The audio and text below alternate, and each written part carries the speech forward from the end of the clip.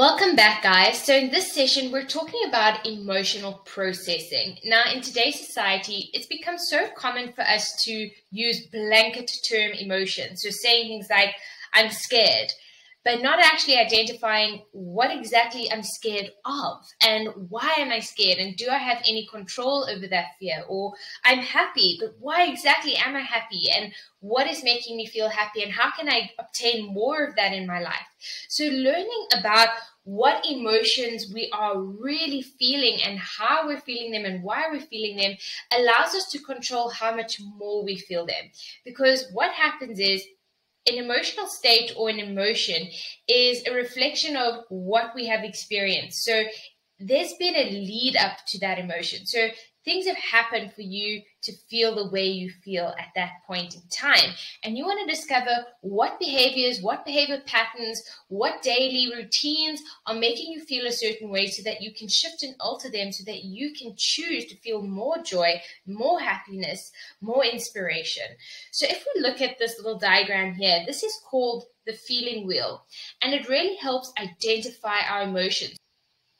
So if you grab a pen and a piece of paper, we can start our reflection exercise and you can see how this is going to help you. So if you've got your paper and your pen ready, I want you to choose an emotion that you're feeling today. It doesn't matter whether it's negative or positive, just choose an emotion that you are feeling today and start at the center of the wheel. So, are you feeling fear? Are you feeling anger? Are you feeling disgust, surprise, happy? Are you feeling sad? So, just choose one. So, let's now go for the feeling of fear. So, I'm going to choose fear for this example.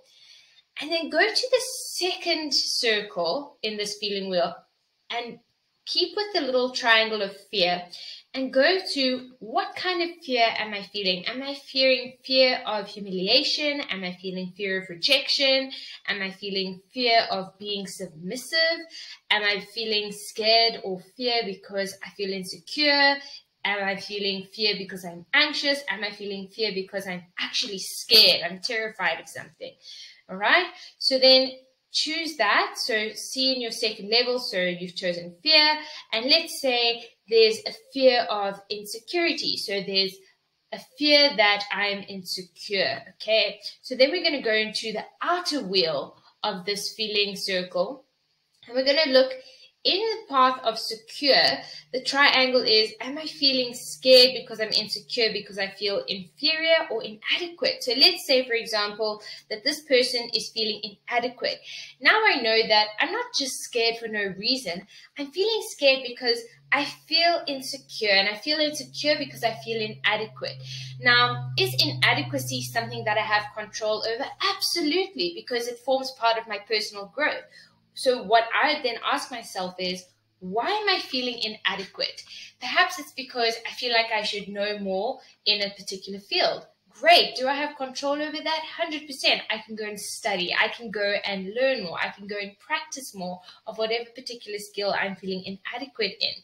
So you see, that is the power of really analyzing our emotions on a deeper level and processing them in a way that is solution orientated. Not just saying, oh, I'm scared, well, that's it, or I'm anxious, or that that's it. But I'm scared because I feel inadequate. I can control how adequate I feel by understanding that I need to feel that I am leaning more into my personal growth. So if we go back to our previous lectures, one of the needs I would need to prioritize in order to abolish this fear is I would need to put personal growth higher up on my level of human needs so that I could lean into that and feel like I'm growing more in order to have less fear of inadequacy. Now, what we could do is look for an opposite feeling. So let's say an opposite feeling to fear would be happiness.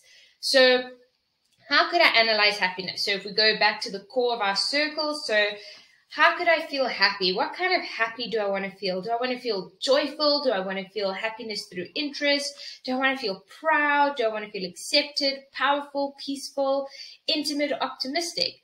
So let's stick with this example of someone who has fear because of inadequacy. Perhaps the happiness I want to feel is proud. I want to feel proud of myself. I want to feel happy because I'm proud of myself. All right, so how would I feel proud of myself? So analyze the emotion. And if you go into the outer circle there of proud, you can see Okay, so to feel proud, I need to feel important and confident, or important or confident. So, what could I do to make myself feel confident? Well, again, we know now that for me to feel more confident, I need to lean into my need of personal growth. I need to have an expansion of self to increase my knowledge of a particular skill, to practice a certain skill, and become a master of it.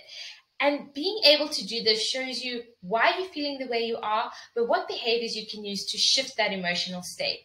So it's a really powerful tool to use. And if you're feeling like you're in a low state and you're not sure why, this is a great way of processing the why. So, unlike the previous exercise where I've taught you how to shift your emotional state on command, before shifting your emotional state, it's important to understand why you are in a particular state, which is why this exercise is so important. So, before shifting out of any low state, First, analyze the feelings with your feeling wheel that you've learned here. And then once you've analyzed why you're feeling that way and how you can improve, then work on shifting the emotional state using the